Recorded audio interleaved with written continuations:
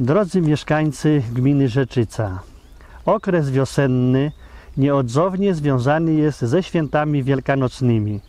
Już przygotowujemy się do ich przeżywania zarówno duchowo, jak i materialnie, sprzątając swoje obejścia i przygotowując różne wypieki. Są to święta pełne nadziei, oczekiwania na zmartwychwstanie naszego Zbawiciela.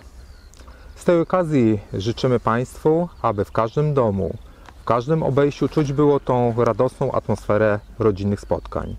Abyście mogli Państwo spotkać się z najbliższymi na porannym śniadaniu, życzymy wielu łask Bożych na każdy dzień świętowania oraz wytchnienia od codziennych problemów. Dużo zdrowia, radości, miłości, wesołego Alleluja.